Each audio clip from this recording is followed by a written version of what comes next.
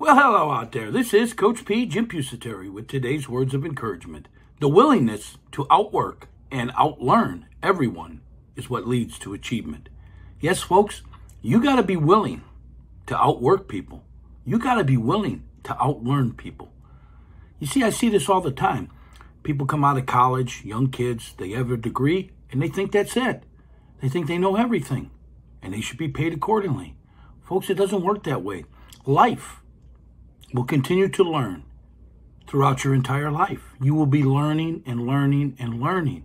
You have to work at outlearning everyone else if you want to achieve what you want to achieve.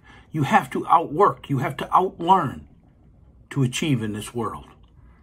For the rest of the podcast, hit that link above or wherever you download your podcast, you can hear the full version. Have yourself a great day, and what do you say we move forward?